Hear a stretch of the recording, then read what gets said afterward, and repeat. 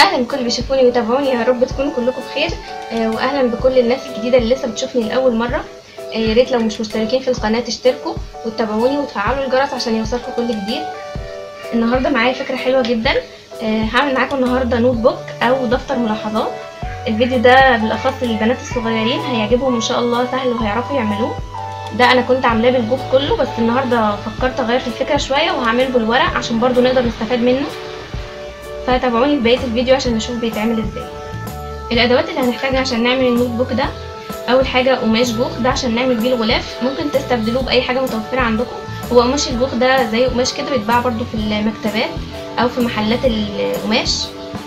آه ومعانا ورق أبيض وميدالية ومقص آه والبنسة بتاعت الإكسسوارات وجلو أو صمغ ومسدس شمع.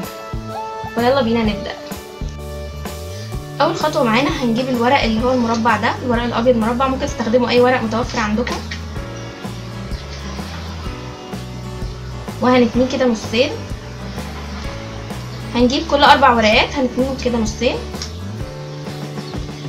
أنا تنيت حبة قبل الفيديو فاحنا بنحطهم كده على بعض.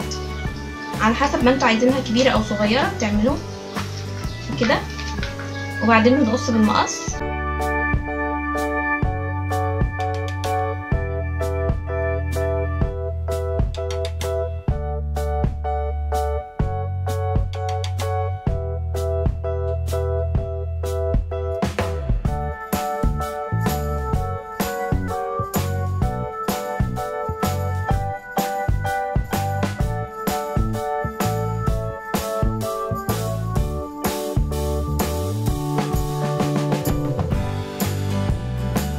كده أنا لزقت الورق كله مع بعض وحطيت برضو صمغ من هنا عشان يمسكولي كويس. وبقى جاهز عندي إن أنا أغلفه.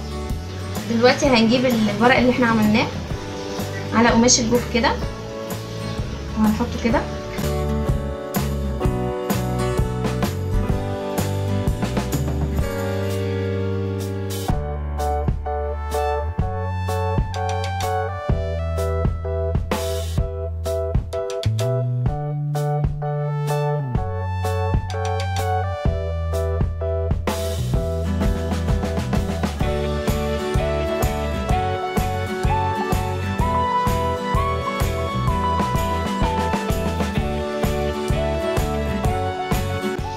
كده جاهز معانا النوت بوك بالشكل ده.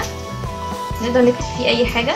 دلوقتي بقى إحنا هنعمل الحاجة اللي هي تقفله أو الديكورات بتاعته من بره. طبعا أنتوا ممكن تعملوا أي شكل أنتوا عايزينه. بس أنا هعمل حاجة بسيطة. هعمل زي هنا وردة كده. بنرسم ورده عادي.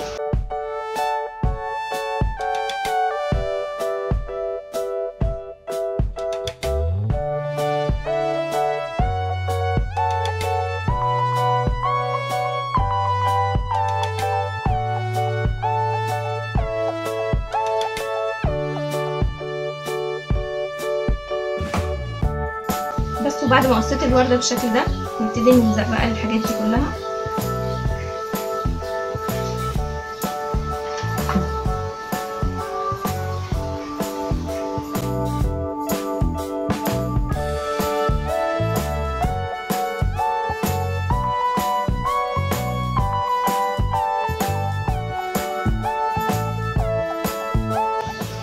وهنجيب اللزق ده أو اللي هو السكوتش ده. ممكن تجيبوا برضو أي حاجة تانية ممكن تنفع؟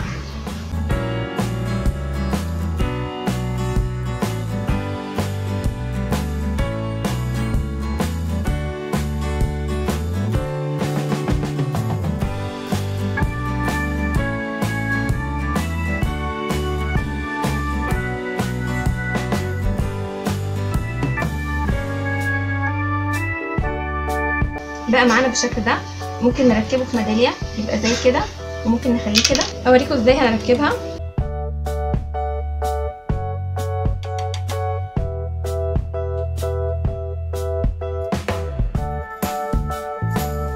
وبقى معانا النوت بوك بالشكل ده.